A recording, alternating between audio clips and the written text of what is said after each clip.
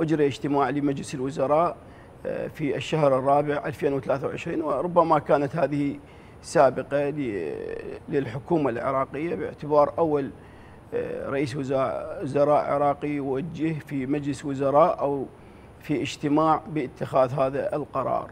هذا الاجتماع آه، أنتج عن 18 بند أو فقرة تضمنت التوجيه لكافة الوزارات والهيئات بإبداء نعم. كافة المساعدات آه، كافة تقديم أنواع المساعدات إلى وزارة التخطيط من أجل إنجاح هذه العملية ومنح الكثير من الاستثناءات آه، عن آه، الأمور التي تم الاستثناء عن التعاقدات الحكومية وغيرها بدأنا هذه التجربة حقيقة التعداد ليس بالعملية السهلة لا نحن لا نسير مثل ما يقال بالسهل الممتنع. هناك نعم. الكثير من العقبات والصعوبات رافقت هذا الموضوع. يعني من 2003 إلى هذا اليوم كانت هناك كثير من المحاولات.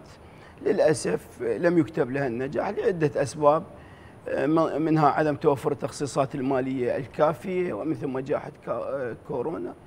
كانت لدينا محاولة يعني محاولة بال 2009 2010 بدأنا بالعد الحقيقي يعني عملنا هي التجربة اللي تسبق التعداد العام هي مرحلة مهمة مرحلة الحصر والحصر والحزم وترقيم المباني ونفذنا العملية كاملة على مستوى العراق لكن للأسف بسبب القرارات السياسية نعرف أنه القرار السياسي والقرار السائد في البلد نعم.